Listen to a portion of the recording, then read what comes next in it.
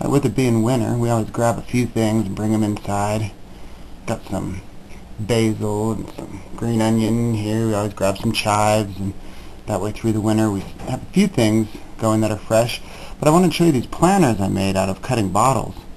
And then these are just your regular 22 ounce bottles, and I, I put a little indent here to add water. It's probably not necessary. And here's a bigger one we made out of a wine bottle, but I'm looking forward to using this big one here.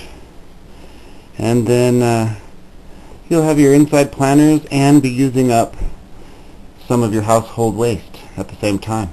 So give it a try.